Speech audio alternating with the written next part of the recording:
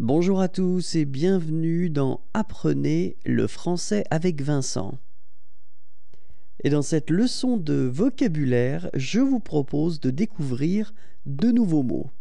Vous êtes prêts? C'est parti. Instrument de météorologie.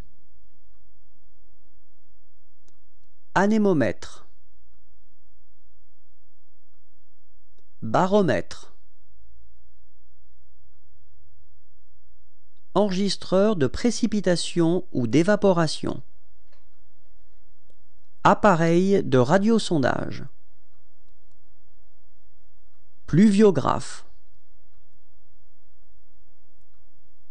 Appareil d'observation en surface. Appareil d'observation en surface des précipitations ou de l'évaporation. Appareil d'observation en surface des radiations solaires appareil d'observation en surface des températures et de l'humidité, appareil d'observation en surface des vents, station météorologique.